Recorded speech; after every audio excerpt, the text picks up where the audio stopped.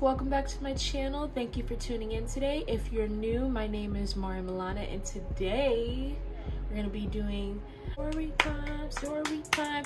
Okay I'm gonna put a little twist on the story time today. So I have a bunch of different stories written on sticky notes in this bag right here. I decided to just pick one out and that's what story time we're gonna do today okay? Okay. Let's mix these all together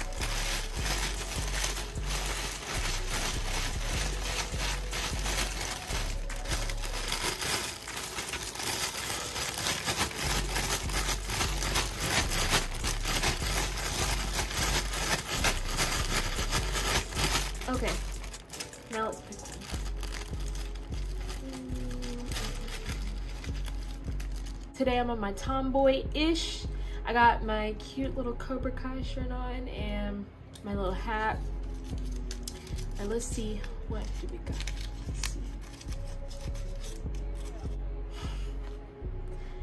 Halloween night disaster. okay, so boom. Whew, I, I'm gonna have to come up with these names off the top of my head, off rip.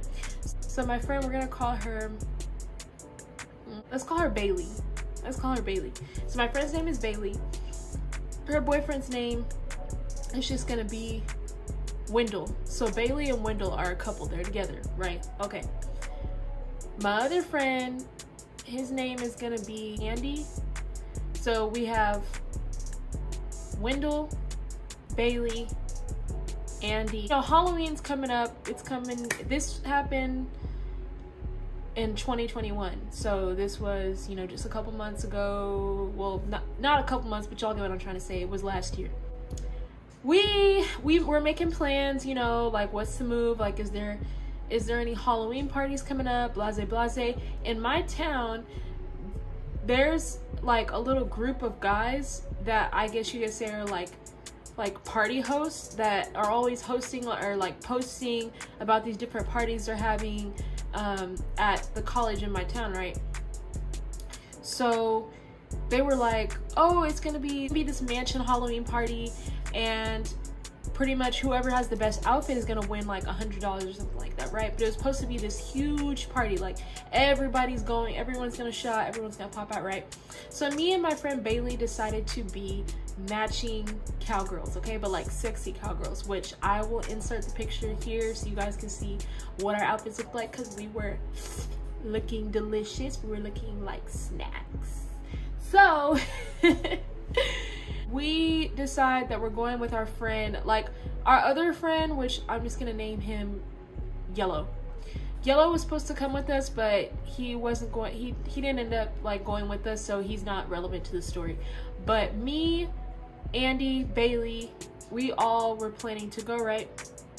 So i cashed out bailey no no i cashed out andy some money to buy a bottle and everything ahead of time because andy is already over the age of 21 so I gave him money to buy a bottle of Ciroc, right? Cool.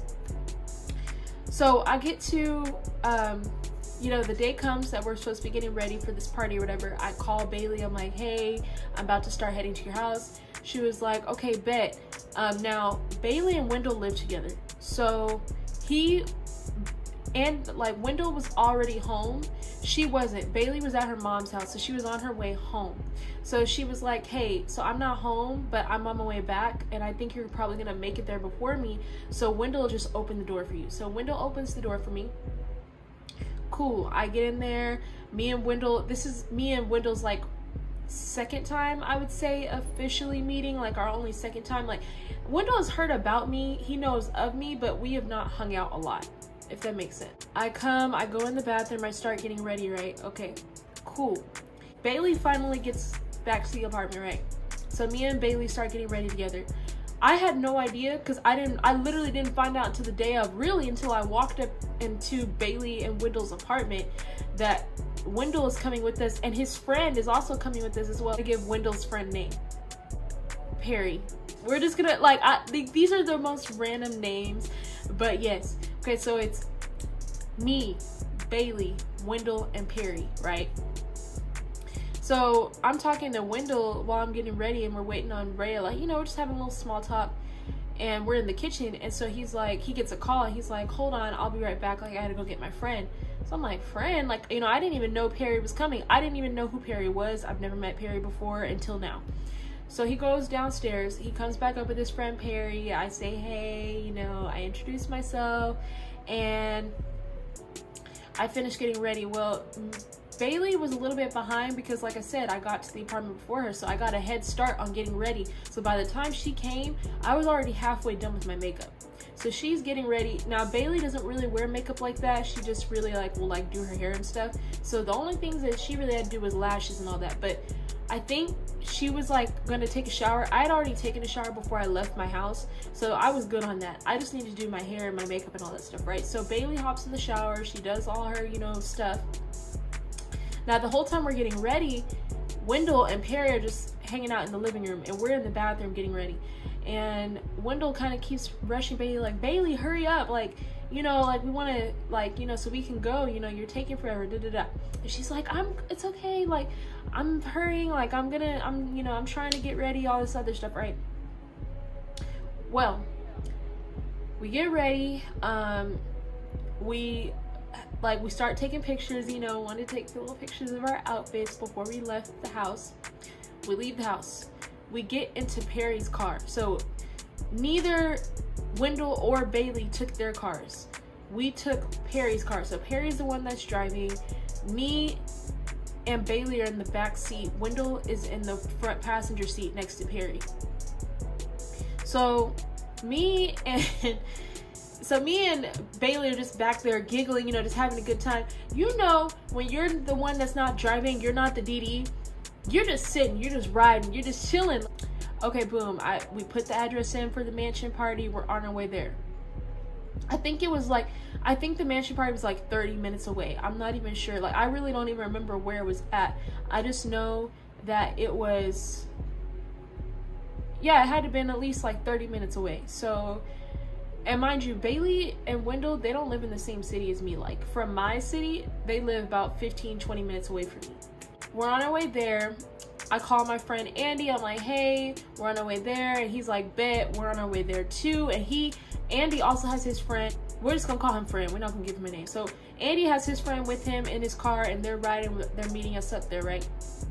So I didn't know this, but Wendell also had some friends that were going to that party as well. So he's on the phone with his friends like, hey, is the party lit? Is it jumping? Like, you know, we're on our way there.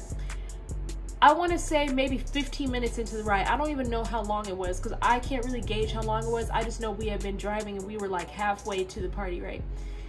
Wendell gets a call and his friend is like, Hey, turn turn back around. Like, don't go to the party. Like, um, the cops pulled up they're already shutting it down. It's only been 30 minutes. Bruh. The party had only been going for 30 minutes and it, uh, it had already gotten shut down. Only been going for 30 minutes, it already gotten shut down.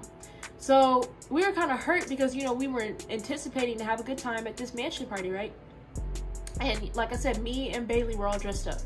So me and Bailey then went to, we, like we decided, okay, like, cause here's the thing, when I bring up these college people that are like they're always hosting and throwing different parties in my town they also had like two or three different other parties that they were posting like promoting right and so Andy sends me another one. I'm like, okay, let's go to this one, right? Because Perry is, you know, kind of confused. Like, you know, like, what's the plan? Like, where's the next place we're going to go to since this party got shut down, right?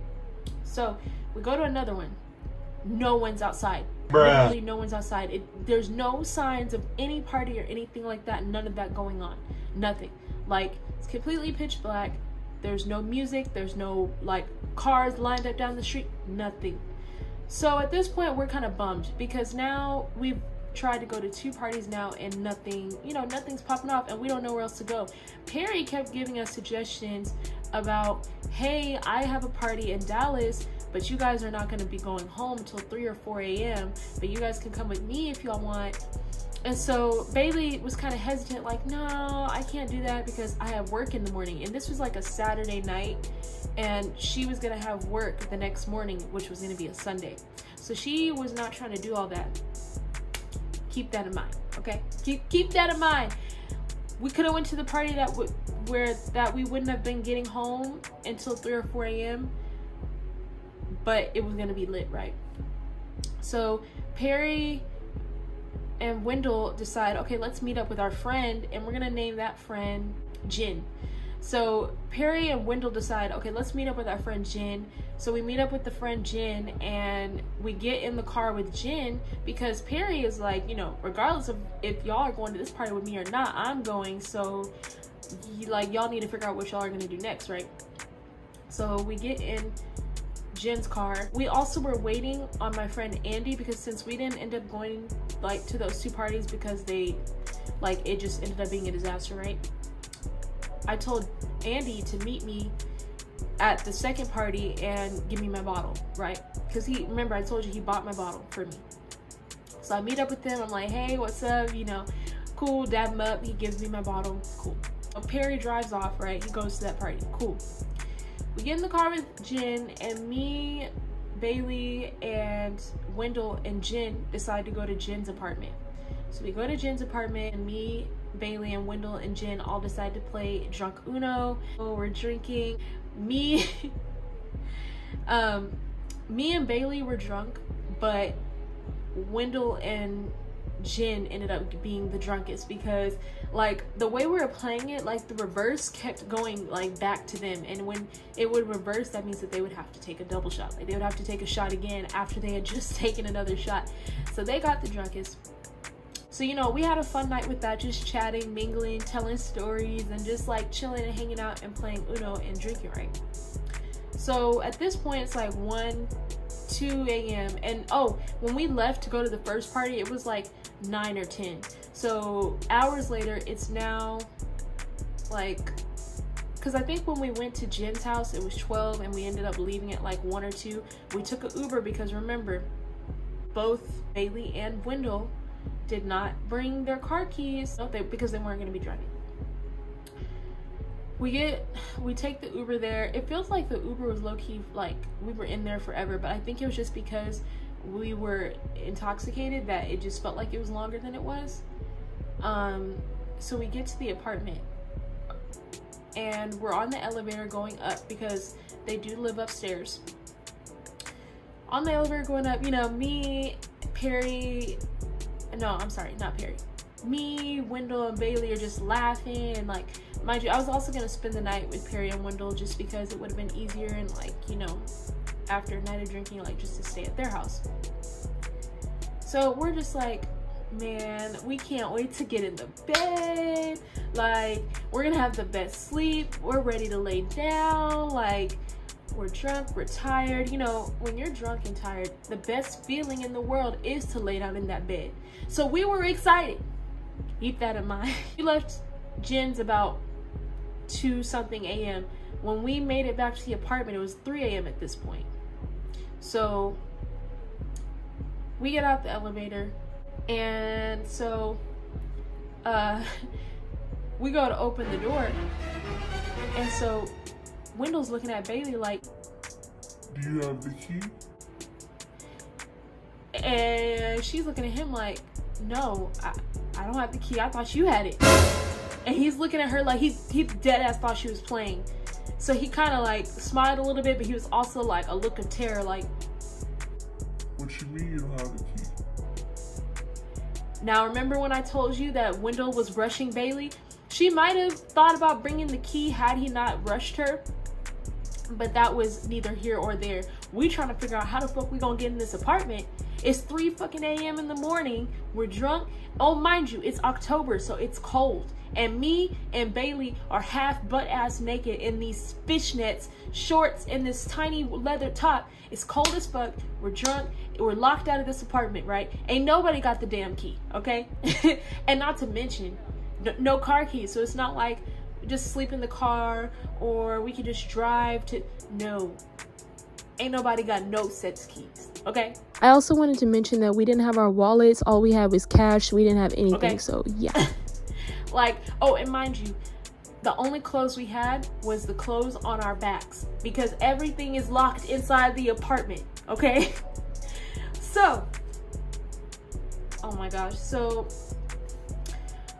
then, you know, we're panicking. We're like, oh my God, what are we gonna do? Like, we're tired, it's cold, we ain't got nothing. So we ended up calling another Uber, another Lyft to go to Bailey's mom's house because Bailey's mom, she lives in like the next city over. I think she was like 20 minutes away too. So we take an Uber to Bailey's mom's house. Bailey's mom lets us spend the night there for the night. We get in the house, right? And so Bailey's mom has like she takes care of foster like she um she has foster kids um but she also has like you know bailey's brother and all that stuff right so and sometimes bailey's brother's friends would spend the night over there too so Bailey and Wendell were gonna sleep in one of like the bedrooms. I think it was like the master bedrooms. Uh, one of the bedrooms, because this bed, this house is like a five bedroom house. I think Bailey and her boyfriend Wendell were gonna sleep in one of the bedrooms, right? So Bailey went to go. Bailey went. Mm, Bailey went downstairs to go talk to her mom for a little bit. So me and Wendell start heading upstairs to go to where we're gonna sleep, right? So I'm behind him. He opens up the door, y'all. There's just this guy just laying spread out on his bed, like just full spread out like starfish. Bruh. Like Wendell instantly gets mad because he's like, There's this big ass nigga sitting in, like laying down in my bed. There's this big ass nigga in my bed, like. And I'm trying to lay down. I'm like, what? Like, so that shit was hilarious. We did end up getting that situation taken care of. Wendell and Bailey ended up sleeping there. I ended up sleeping, you know, in another room. We went to sleep. We woke up. Oh, and another thing that I forgot to tell y'all. So, the office to get an extra key, like their apartment office, get an extra key so that we could actually get in the apartment and get our stuff, didn't open till 12. it didn't open till 12 Bailey needed to be at work the next morning. Bailey needed to be at work in the morning by 7:30, and she don't got her car keys, nothing. So it's like, so she ended up having to go into work late. And when we got into the apartment office, you know, they gave them a spare key to open up their apartment.